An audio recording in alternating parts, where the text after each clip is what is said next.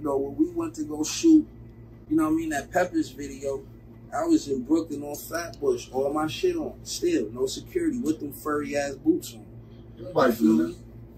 Who gonna do that? If Anybody motherfucker- do that, it- like I was reading the shit, the comments, and then I'm just thinking to myself, like, first of all, none of y'all motherfuckers in these comments can even come over here, Facts. let alone wear what you calling a person furry shoes. Broad daylight at three o'clock prime time on Flatbush with no security, just still.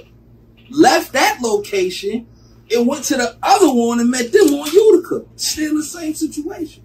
So everybody was so tough in the hood. Why ain't nobody say shit then? The internet shit ain't real. Internet shit ain't real. Who has time for that shit? But I just want them to hear that. right, right, right, right. Because my peppers tasted great.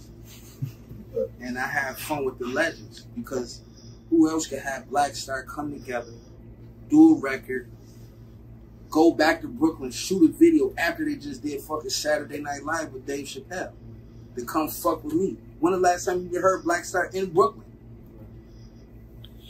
You know what I'm saying? Legendary. So that's what I'm saying. So it's just like I constantly do shit that ain't nobody ever did.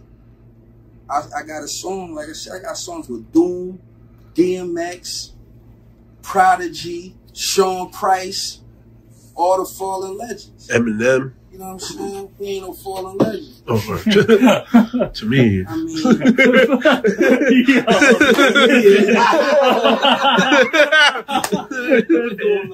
nah, shout out to Slim Shady, man. you know what I'm saying? Shout out to the cameraman. Shout out Thousand Words. Bow wow, bow wow, bow wow.